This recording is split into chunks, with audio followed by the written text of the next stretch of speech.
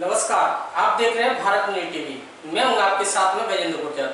चलिए शुरुआत करते हैं आज की कुछ खास खबरों की। जलालगढ़ थाना अंतर्गत रामदैली पंचायत के रामदैली पूर्व ग्राम से बाहर आवागमन के लिए एक भी पक्की सड़क नहीं है और जो भी ईटा सोलिंग का सड़क है, बरसों से जर्जर और खंडहर में तब्दील हो चुका है।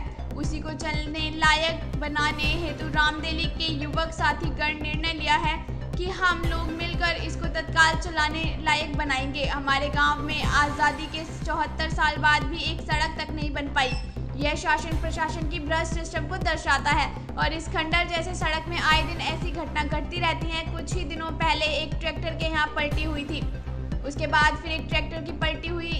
इससे जान माल की काफ़ी हानि हुई। हमारे युवा साथीगण में से मोहम्मद नदीम अख्तर, एम डी मिनहाज, अनुल बारी, मोहम्मद मंजर अमजद, इम्तियाज़ गुल फराज आसिफ आलम, मोहम्मद बहारुद्दीन, शादाब, मोहम्मद मारूफ इत्यादि युवा साथीगण उपस्थित थे।